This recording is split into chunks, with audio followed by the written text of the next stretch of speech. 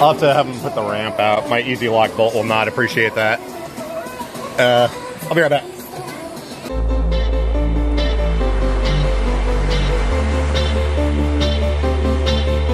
They went in the back to cut a ramp out of plywood with a table saw so I could get on here. Perfect. All right. Awesome, thanks. Perfect. There's a bolt on the bottom as it sticks down to hook into the van so it catches on stuff like that. Oh, okay, So, thanks, man.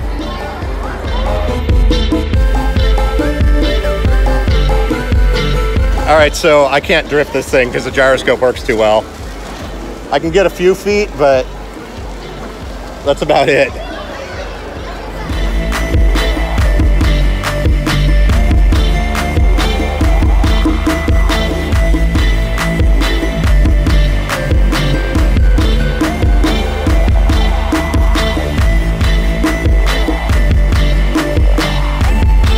Still a lot of fun though, even if I can't drift effectively.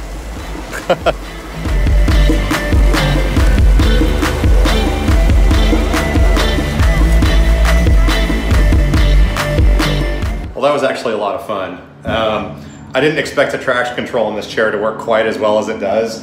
It made it impossible to drift, but at least now I know this thing's safe on the ice. It will not fishtail. Well, that was a lot of fun over at the ice rink. Unfortunately, they would not let me bring my camera or the gimbal, or they didn't even really want you filming with your phone while you're in there. But I think since I wasn't in danger of falling over, um, it was okay. I just kind of used my cell phone to film a few things. But yeah, I hadn't been on the ice in a power chair before. It actually worked amazingly well. I did wheelchair curling a long time ago, but that's in a manual chair. And you're not really trying to like drift or anything. But I don't know, it was pretty fun. We've come here to Home Depot. I want to try something. I don't know if it's to work, but we'll soon find out. This stuff has a lot of warnings on it. Let's see if it works. Oh, looks like it's working. we'll give it a little bit more time. In case you haven't figured it out, I'm removing the paint from the van with this super caustic stuff. It says not to spray more than nine square feet at a time because after that it becomes a health and safety hazard. I'm gonna make this van like old rat rod. I've taken most of the paint off. I'm gonna let it rust up, then we're gonna clear coat it. Kind of like how the roof is, if you remember that. I wanna keep that styling on the entire van. Look at it though.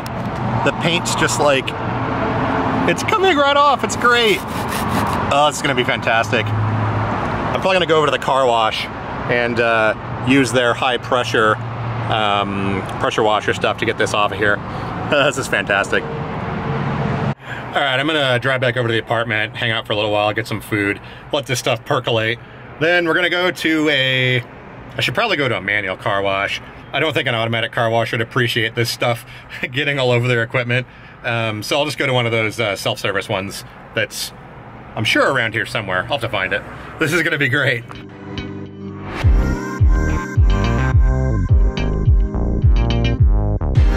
Oops, looks like I forgot the part that was behind the door. I'll have to hit that real quick.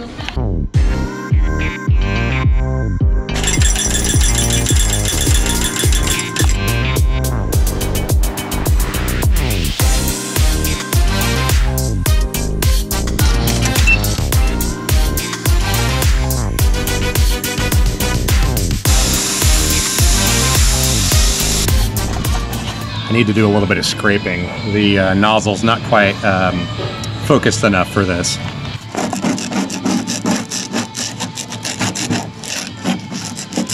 All right, I've used up the rest of the can. We'll see if we can let it sit here long enough to do something.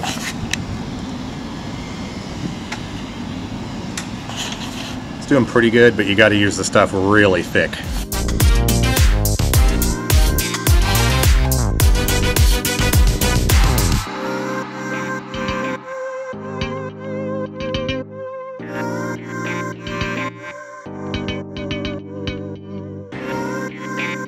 So I went and bought a few more bottles of this stuff and some wire brushes and uh, hit this thing pretty good.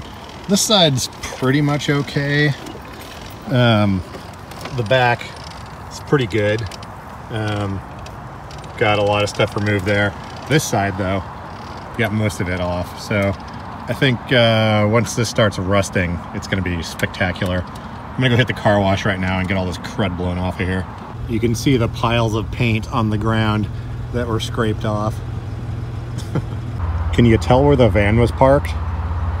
uh, I don't know why, but for some reason I get the feeling I might get pulled over driving this thing around.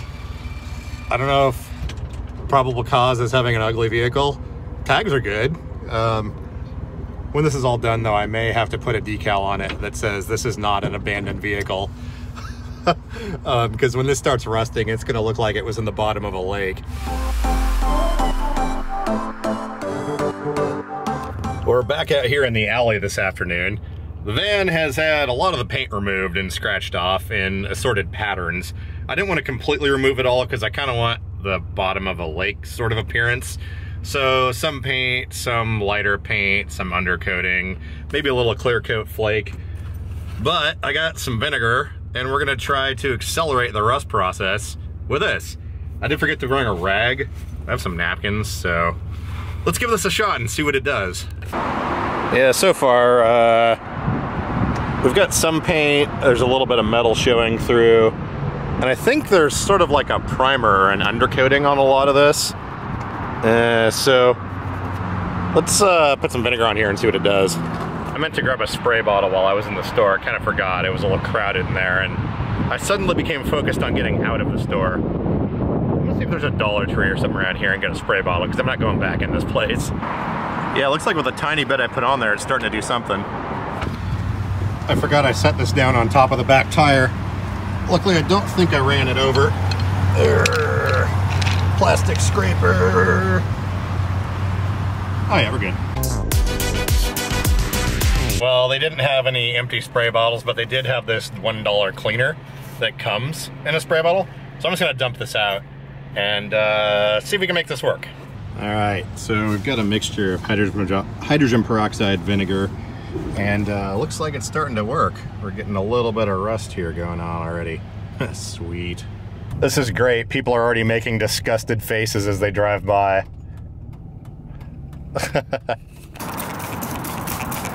okay, I just went around the whole van and sprayed everything. Let's check on the other side and see what it looks like.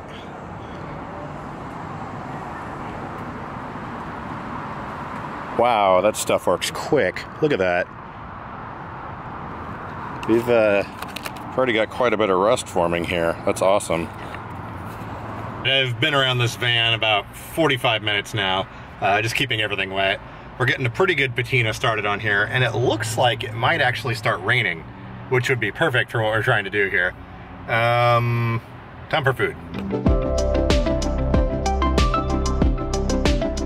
I just realized I forgot to bring my camera. Um, normally I have it in this backpack here and I can tell it's in here because the camera has kind of a bump right here. So I put my hand on the bag and I was like, oh yeah, camera's in there, we're good. But as it turns out, it's an Amazon Echo Tap, not my camera. Anyways, I just went to the uh, mailbox, I picked up some stuff, and I found that bench back there. But we'll get into that when I get back and get my other camera.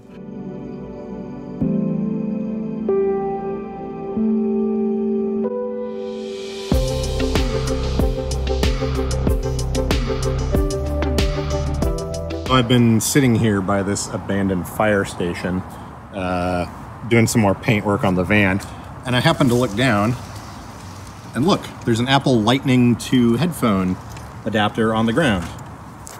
There's a lot of things on the ground, including dead mice. But this, uh,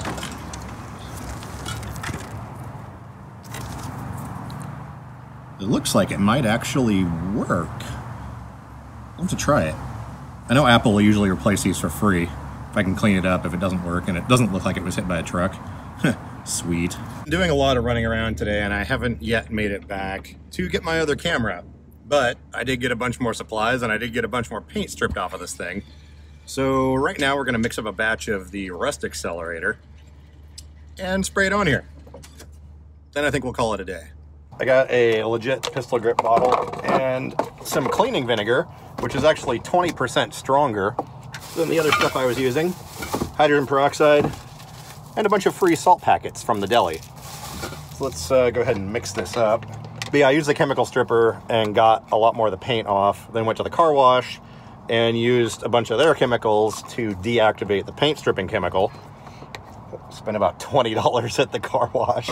Okay, about yay much vinegar, a couple packets of these salt, I, a couple packets of salt rather. And then some isopropanol alcohol, or no, this is hydrogen peroxide, not whatever. You get the idea. Yeah, there we go. The rust accelerator. Man, this stuff works fast.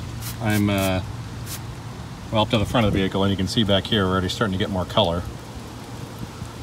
Now there is sort of a base coat on here that's not waterproof, so this is going to take a little bit more work. I'm to have to keep dousing this uh, several times today, probably a few times tomorrow too. Got a few packages to open. And oddly enough, this one seems to be, um, it feels like drone parts. Usually when you order stuff from Shenzhen, it takes over a month to get here, but I think in this case, and it has an official DJI tag stapled on the top of it. Even got the uh, little wire mesh screens in here that you can see. I think this is what we're to need to, uh, oh, that is not. Yeah, I can tell that's not factory plastic. Um, I mean, it'll be fine, but I think this is what we need to uh, get the thing up and running. Project for tomorrow, maybe the next day. The next one, I'm pretty sure, is from a viewer. Um, I may have been given a hint that there's cat toys and or coffee in here. Let's see. It, it definitely has that sound. All right, so we've got more cold brew labs. Thank you. Uh, this this stuff is like, it's almost like they designed it to be cold brewed. I mean, it's right there in the name, but thank you. This is, uh, haven't had to buy coffee in forever. It's awesome. And this uh-oh. Shrimpy shrimp flavor and uh, feline greenies, the original smart. Oh, they're like um, the stuff that they chew on and it's good for their teeth or something. Let's try that in a minute here. And then we have, whoa, what? What's going on here? 20, oh, it's a deluxe toy pack of 20 toys. nice. Uh, what should we do first? Cat toys or probably the treats. I feel like, ooh. Here you go.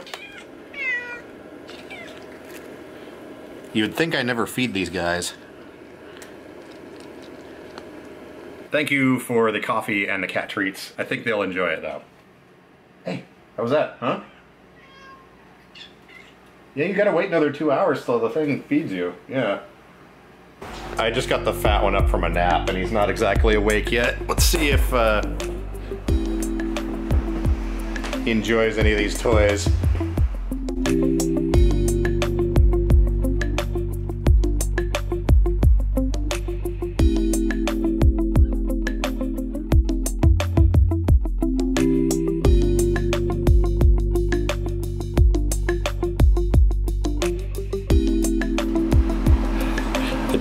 Actually is a cat. Just took a while.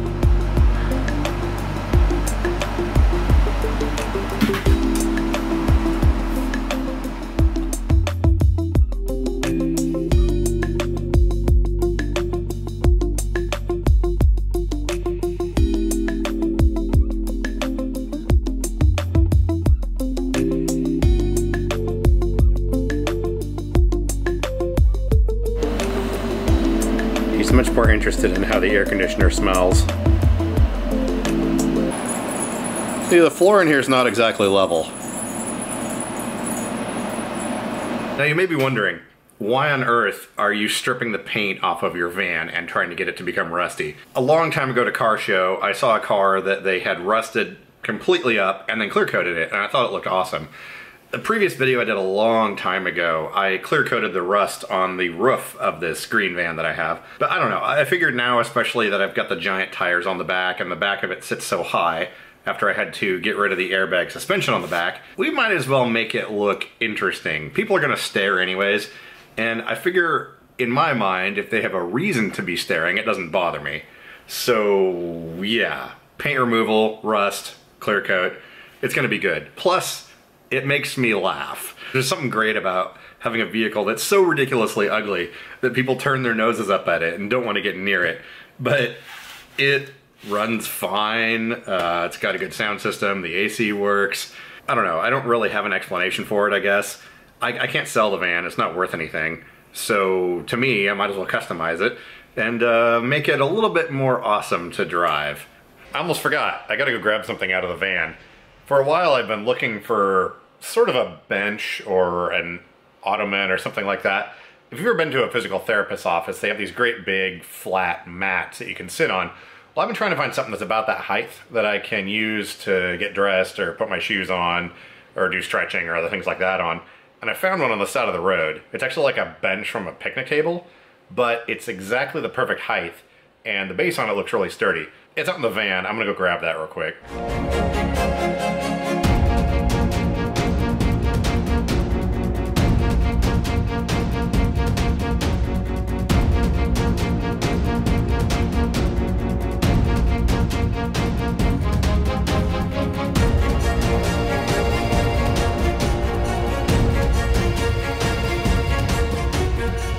There we go. I think that's about perfect.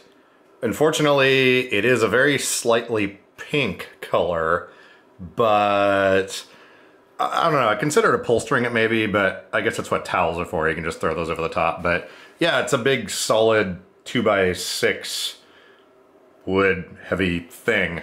Yeah, perfect. I'll check in with you guys on the next video with how the van rusting project is going or the rat rotting, rat roddening, uh, whatever you call it, I don't know.